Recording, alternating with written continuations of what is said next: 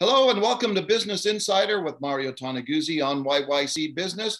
Joining me today is Greg Kwong, who is Executive Vice President and Regional Managing Director of CBRE here in Calgary. Thanks for joining us today, Greg. Good morning, Mario.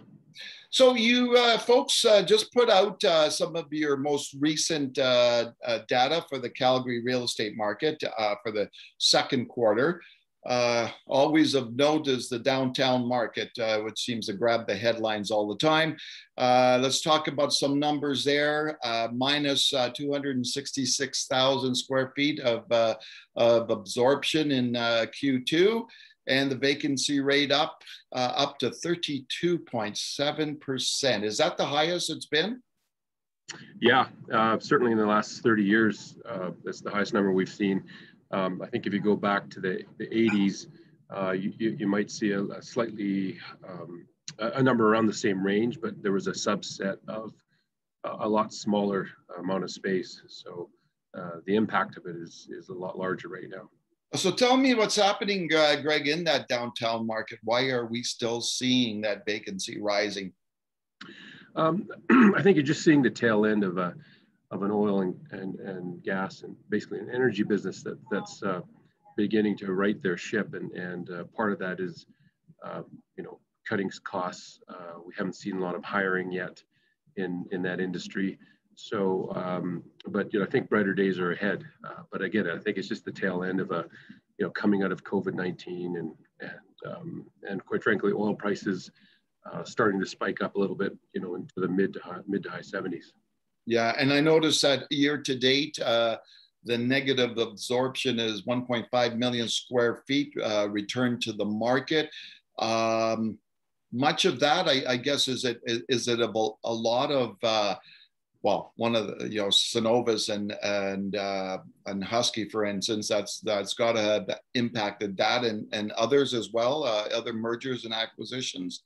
Yeah, that, that, that merger was the uh, the biggest impact uh, through on, you know, close to a million square feet of uh, vacant space in the first quarter. So um, uh, we, we expect more uh, M&A activity going forward. Uh, nothing to that scope, we believe, but who knows, we could be surprised. Okay, and when you look at uh, some of the the positive absorption, some of the leasing activity that's taking place uh, these days, uh, one of, I guess, on a positive note, we're seeing uh, we're seeing tech companies coming into the core, right? Yeah, yeah, absolutely. Um, we're still very much a burgeoning um, uh, tech industry, I guess, as, as it relates to other cities. Uh, certainly, Vancouver and, and Toronto grab most of the of the tech sector, Canadian tech sector, anyway. But um, and if you look at the number of tech, uh, depending on your categories, but tech tenants uh, pure tech tenants uh, in the core, it still represents less than uh, six or seven percent of the overall tenancies, but it, it's growing for sure, and um, and we're certainly seeing a lot of bright lights uh, from that industry, that industry as well, as far as growth. And uh, just one last thing about the downtown market. When you look forward to, to the next two quarters of this year, uh, do you expect to see that vacancy continue to rise? Yeah, I think at this point, um, I, I wouldn't be surprised if if we hit uh, kind of 34, 35% by the end of the year. Um, uh, again, purely because of the M&A activity that's going on. So we'll see a lot more sublease space come on the market. And um, we're still not, uh, there's really no clear sign as to what companies are going to do as it relates to going back to work or transitioning from the work from home uh, back to, so uh, back to the office. Uh, indications that we see right now, and, and they're purely anecdotal, is uh, presidents, CEOs, CFOs are all uh, trying to get their people back to work by, for sure, like September.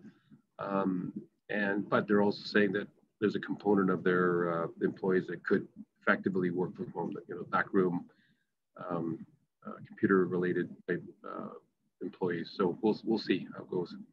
All right, let's uh, swing to the industrial market. Uh, a little different story there, a more positive story when it comes to commercial real estate in the city. Uh, in the second quarter, 2 million square feet of uh, positive absorption, uh, 4.1 million square feet year to date, which is the largest two quarter absorption uh, total in over 15 years. Uh, what's happening with that market and why?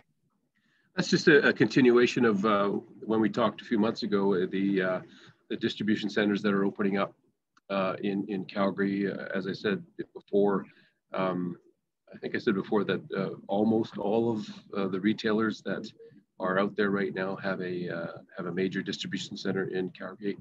Uh, I think I can almost confidently say that all, all of them now have a uh, distribution center here. There's still a few more left, but uh, you know, but but uh, companies like uh, you know Amazon is the one that's uh, always in the limelight. They're grabbing space left and right, and certainly um, we hear in the news about this is you know other companies opening up large distribution facilities. purely, Calgary is situated situated nicely in the middle of Western Canada, and we are able to, or they're able to get their goods to the consumer's doorstep, you know, within a day. So that that helps us. So you foresee uh, more of the same for the industrial market as we head into the final two quarters of this year. Um, I, I, think uh, the amount of demand will stay the same.